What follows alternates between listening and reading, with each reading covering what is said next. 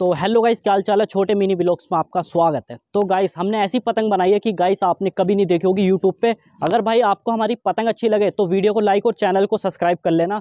और भाई, पतंग उड़ेगी लेकिन बड़ी वीडियो में उड़ेगी, जिसका लिंक मिलेगा गाइस कमेंट में। आप एक बार गाइस बड़ी पतंग देख लो गाइस कैसी है।